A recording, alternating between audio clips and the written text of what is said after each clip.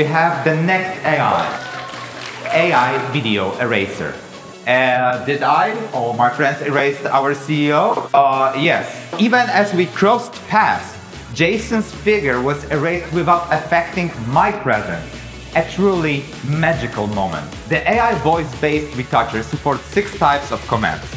You can erase, add, or change subjects in your photos, alter the background, and even outpaint images. Let me give you a live demo, okay?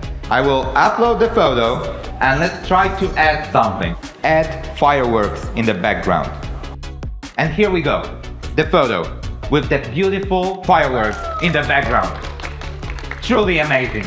We are committed to making AI practical, intuitive, and accessible.